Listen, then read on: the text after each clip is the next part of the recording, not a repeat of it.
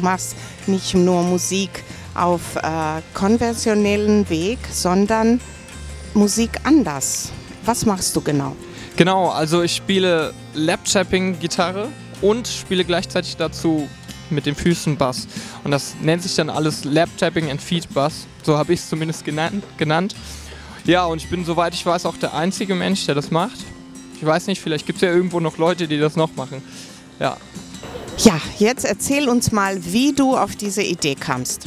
Ja, also beeinflusst halt von Gitarristen wie Andy McKee und Eric Mongret.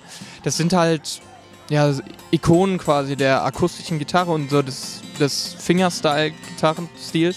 Ja, und da habe ich halt schon vor einigen Jahren angefangen, die nachzuspielen. Und dann ja, hat sich das alles entwickelt, aber auch Singer-Songwriter wie Bonnie Ware und Ben Howard aktuell irgendwie finden dann auch Einfluss in meiner Musik irgendwie. Also es kommt so von allem, aber im Endeffekt ein bisschen was dazu. Und wie, also die eine Gitarre ist, äh, die hältst du auf? Genau, die liegt auf dem Schoß. Und das nennt sich dann Lap-Tapping. Das ist eine spezielle Form des Gitarrespielens. Dabei spielt man halt nicht wie üblicherweise per Zupfen und greift mit der linken Hand, sondern man schlägt mit den Händen auf die Gitarre. Dadurch kann man halt hat man ganz viele neue Möglichkeiten. Man kann halt Flageoletttöne einbringen oder auch perkussive Elemente. Also noch so ein bisschen den Rhythmus über den Korpus. Ja, das ist eine relativ neue Gitarrentechnik. Es gibt auch ein paar, die das mittlerweile spielen, aber auch nicht so oft. Ungefähr mit sechs habe ich angefangen, Gitarre zu spielen. Ja, und seitdem durchwegs Gitarre gespielt, aber auch alle verschiedenen Arten: E-Gitarre, Akustikgitarre, Banjo, Bassgitarre halt.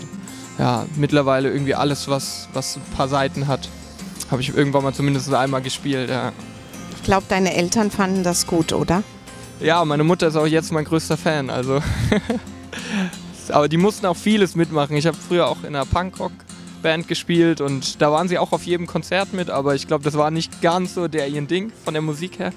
Aber jetzt, also zumindest meine Mutter auf jeden Fall und mein Vater ist auch sehr begeistert davon, ja. Pierre, bist du alleine auf deinem musikalischen Weg? Ja, also nicht nur. Ich habe auch noch ein Akustik-Pop-Duo zusammen.